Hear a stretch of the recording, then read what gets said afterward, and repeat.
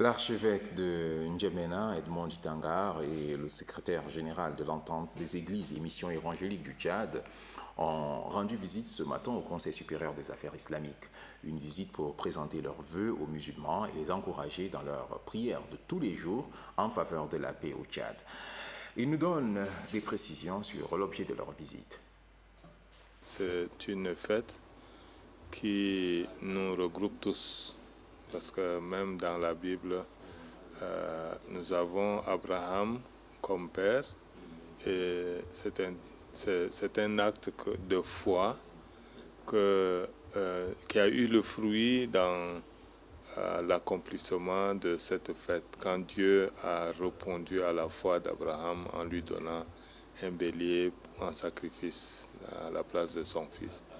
Et nous, nous sommes reconnaissants que dans la famille tchadienne, nous constituons une même famille. Nous sommes venus simplement féliciter la communauté islamique à travers euh, le Conseil pour euh, la paix que Dieu maintient dans notre pays à partir de nos différentes prières. Et tout ce que nous demandons ensemble à Dieu, Dieu nous donne. Et la première chose que nous demandons à Dieu tous les jours, que ce soit musulmans, chrétiens, c'est la paix pour notre pays et Dieu nous maintient encore dans la paix. Et je pense que c'est notre joie de venir aussi féliciter la communauté islamique, comme euh, l'a dit le pasteur Batin. C'est une seule parole, il n'y a pas deux paroles. C'est les, chrétiens, les frères et, sœurs chrétiens du Tchad qui viennent rencontrer et saluer et féliciter leurs frères et sœurs euh, musulmans. La direction générale de la gendarmerie nationale a présenté ce matin à la presse des présumés malfrats. Falambi Soulgan. Quatre présumés malfrats viennent de tomber dans les mailles du filet de la gendarmerie nationale. Selon le directeur général de la gendarmerie nationale, son institution veille nuit et jour pour assurer la sécurité des personnes et des biens. Le général Ngaro Ngomti, élu, même Audit Ngar, a saisi cette opportunité pour interpeller les juges. Monsieur le procureur, ce malfrat et faussaires qui sont devant vous témoignent également de renseignements fortes de la gendarmerie. Et ceci a amené les gendarmes à retrouver ces gens. Nous n'avons pas autre force que la justice. Quand on parle de la paix sociale, c'est qu'il y a la justice. Quand on parle de la sécurité, c'est qu'il y a la justice donc que la justice soit rendue. Soit rendue pour que ces auteurs puissent répondre de leurs actes devant la juridiction. Car nous ne pouvons pas tolérer ce genre de pratiques. Le cinquième substitut du procureur de la République rassure la gendarmerie nationale que les présumés malfrats répondront de leurs actes devant la loi. Les parquets distance doit ouvrir une enquête sur tous les malfrats et que justice soit rendue.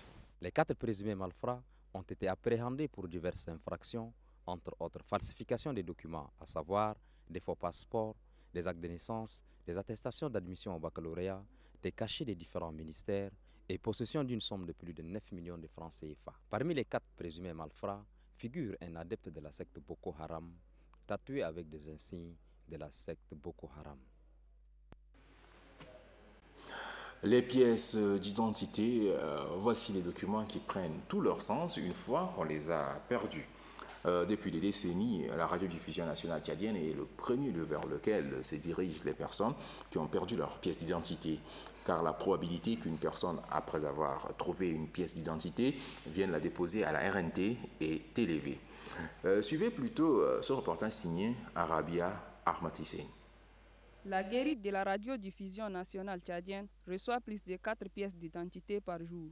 Aujourd'hui, la RNT dispose en son sein plus de 400 pièces d'identité. Les pièces parviennent aux vigiles par les citoyens qui les retrouvent par terre. Ces pièces sont perdues par leurs propriétaires. Une fois amenées dans notre poste ici, on les oriente au niveau des registres. Une fois arrivé au niveau des registres là, il prend le nom de la personne qui a amené la carte et puis son numéro et le régisseur nous amène ici. Dès que la personne qui vient pour chercher sa carte, puis il vérifie s'il y a sa carte, on lui remet.